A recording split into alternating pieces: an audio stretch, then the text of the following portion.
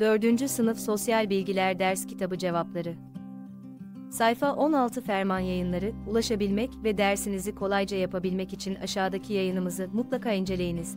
4. Sınıf Sosyal Bilgiler Ders Kitabı Cevapları Ferman Yayınları sayfa 16 yaşadığınız önemli bir olayı anlatırken neden heyecanlanırsınız?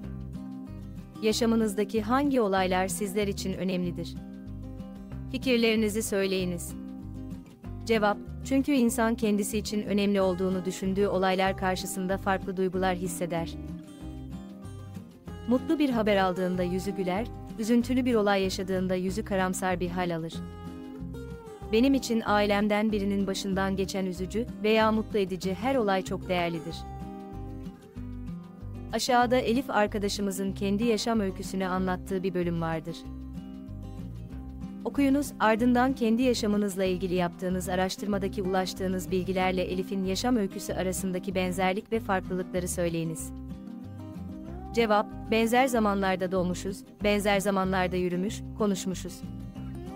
Yine benzer zamanlarda okula kaydolmuşuz. Doğum günlerimiz farklı, okula yazılma günlerimiz farklı, ailelerimiz ve okul başarılarımız da farklıdır. 4. Sınıf Ferman Yayıncılık Sosyal Bilgiler Ders Kitabı sayfa 16 ile ilgili aşağıda bulunan emojileri kullanarak duygularınızı belirtebilir aynı zamanda sosyal medyada paylaşarak bizlere katkıda bulunabilirsiniz.